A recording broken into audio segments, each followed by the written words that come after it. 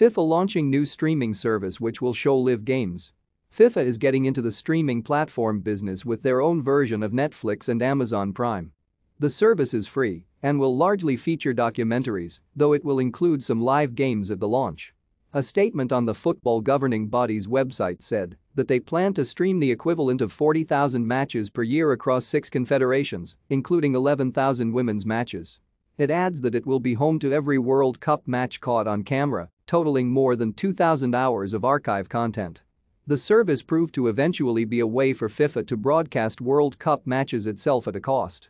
While increasingly positioning itself as a rival to existing media companies, FIFA Plus will also be used by the governing body to promote its sponsors.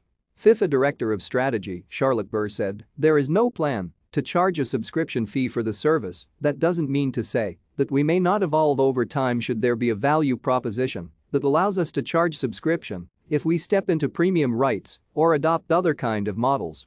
Burr then added, but there will always be a free experience on FIFA Plus.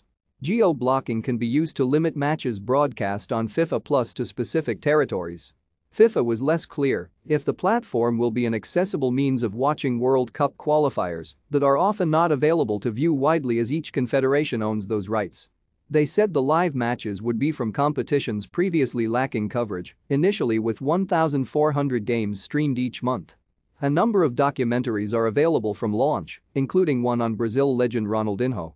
The launch could see FIFA shift content off YouTube that it has previously used to broadcast classic matches and sports politics events.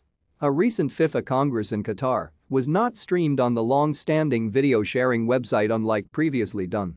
FIFA Chief Commercial Officer Kay Madati said, We're a bit more strategic about what goes where and when.